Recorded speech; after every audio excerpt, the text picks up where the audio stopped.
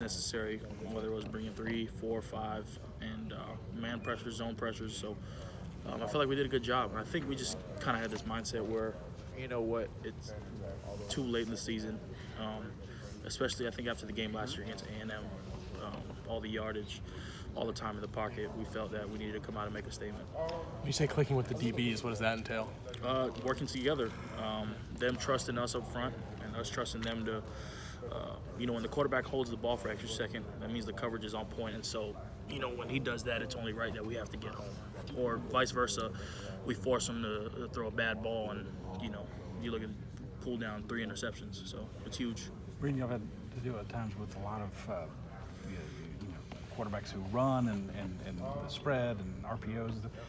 They seem like a more traditional, you know, more conventional, mm. uh, you know, power try to mm. outpower you offense. Uh, is that is that kind of something you're you're glad to be playing against? Or obviously it's a big physical challenge, but I mean, is there anything that you like about that? You know, strength against strength, that kind of thing. Yeah, it's. I think it's um, their run versus our run defense is, is where I think you know the, the battle's going to be won, and it's really whoever's going to uh, break first is the one that's going to you know lose the game and lose the battle. And I feel like, especially going into this game, knowing how well our offense scores and how fast they do and the tempo they do it at. Um, I think they're going to try to come out and slow down the game a little bit, try to grind out some yards, um, let that play clock run until, until, under 15, under 10 some plays, and ultimately make last minute checks. And so uh, I think it's going to be a big boy battle this week. And, uh, you know, honestly, it's just basic big boy football, to be honest. I feel like everybody, everyone on the team, every coach is a different example of when they think Joe kind of won over the team in the locker room. When was it for you? Or did he? um, forgot what what game it was when I think it was Florida Florida week when this is what I felt he won the team over. I mean, he Joe's won me over since he's been here. I mean, for a guy to come in and work hard like that, but I think I think it was after that Florida game when when he Last said year, no this this year this, okay. when he was like we need to get back to work.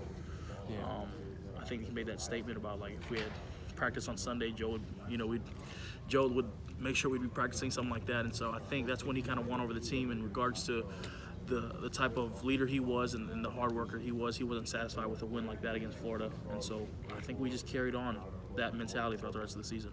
What about last year in terms of, I mean, that was a tricky dynamic of a guy showing up a few months before the season and whatnot? Yeah, he came in the summer.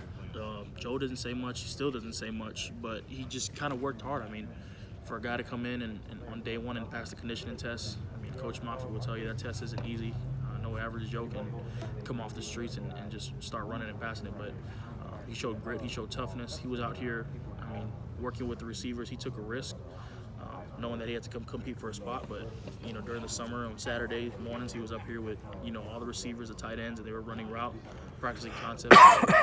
he won their respect pretty quick. You know, just for us, we just seen the leadership early. No average. No average Joe. Not at all.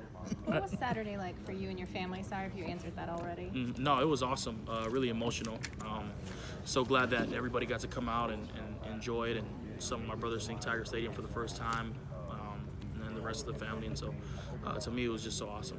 Real emotional.